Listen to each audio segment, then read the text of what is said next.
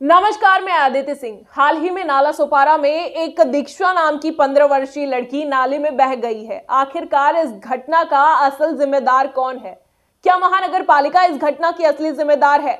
या फिर ऐसे बिल्डर्स जो लगातार ऐसी जगहों पर अवैध बाँध कामों का ताता लगा कर रखते हैं? या फिर ऐसी जगहों पर बिना जाँच पड़ताल किए घर खरीदने वाले खुद जिम्मेदार हैं?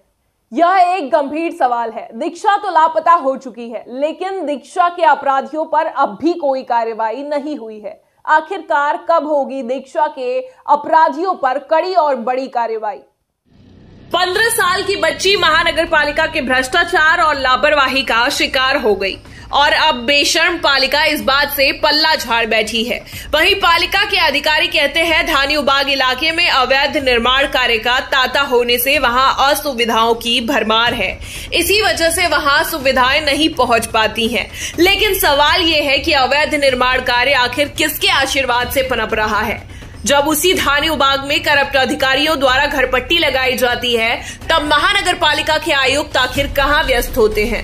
प्रश्न उठना तो लाजमी है। दूसरी घटना विरार की है, जिसमें 15 वर्षीय तनिष्का कांबले की करंट लगने से मृत्यु हो गई। एमएससीवी विभाग की लापरवाही ने ले ली 15 वर्षीय बच्ची की जान। दरअसल बिजली का तार सड़क पर होने से और तेज बरसात होने से पानी भर जाने के कारण तार से करंट पानी में उतरा और बच्ची के वहाँ से गुजरने पर करंट लगने से उसकी मृत्यु हो गई।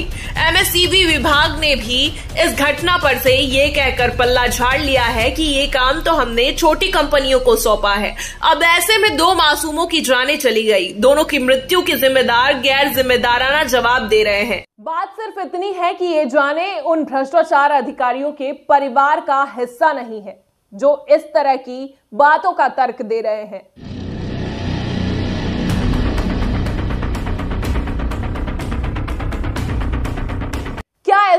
कामकाज के जिम्मेदार अधिकारियों पर कार्रवाई नहीं होनी चाहिए। क्या मात्र इस तरह हादसों से पल्ला झाड़ लेना सही रास्ता है? खैर, इस पूरे प्रकरण पर जनता में काफ़ी आक्रोश है। अब देखना यह होगा कि इस पूरे विषय पर आधिकारिक और गैर आधिकारिक रूप से क्या कुछ अहम कार्रवाई की जाती है। इस पूरे विषय पर आपको क्या लगता है? कितनी कठोर कार्रवाई होनी चाहिए? अपनी राय हमें कमेंट कर ज़रूर बताएँ। आज के लिए इतना ही। फिर होगी मुलाकात। तब तक के लिए नमस्कार।